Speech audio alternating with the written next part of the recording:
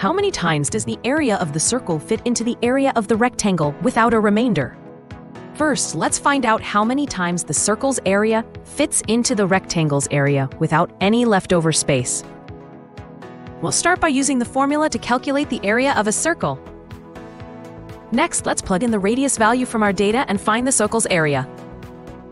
Great, now we know the circle's area. Now, let's work on the rectangle. We'll calculate its area using the values given. Then, we'll figure out how many times the circle's area fits into the rectangle's area by finding their ratio. Let's insert the value for pi and solve to get the ratio. Finally, we round down the number to see how many whole times the circle's area fits into the rectangles. And that's how we solve this problem. Great job!